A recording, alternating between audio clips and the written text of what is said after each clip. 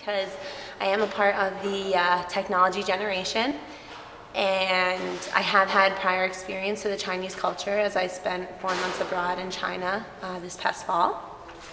And I also embody the American perspective as well. So.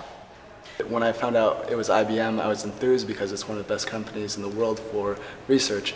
So I looked into it a little bit long, uh, longer and really wanted to go to Beijing because of the cultural influences and just the international opportunity to work abroad. So. it was sort of a once in a lifetime chance to work abroad and get that sort of you know worldly well-rounded experience. So, and IBM, as far as you know, electrical engineering goes, is at the top of the top. So, really, was a no-brainer.